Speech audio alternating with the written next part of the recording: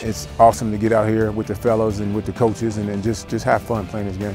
We just uh, want to pick off right where we left off at the end of the spring. We got to keep moving forward. I mean, we can't go backwards at all. We got to just see improvement every day. We're not starting over. We had about 90% of our guys here over the summertime, and they were practicing themselves.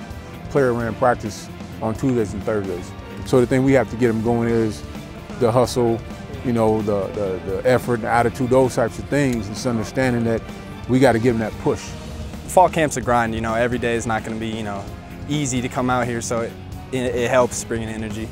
You can tell veteran group and younger group.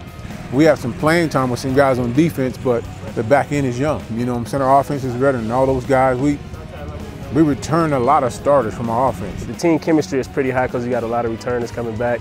Um, so it's going to be a, a, lot of competition going on all camp, and it's going to be fun. It's going to be a lot of fun going back and forth and just trying to make each other better.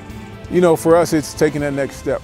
You know, winning season, all that stuff is over with. That's that has to be expected. Now it's time for playoffs and, and, and battling for Big Sky championships. It's teaching those guys how I have to do it because you don't really learn it until you get out and you do it physically.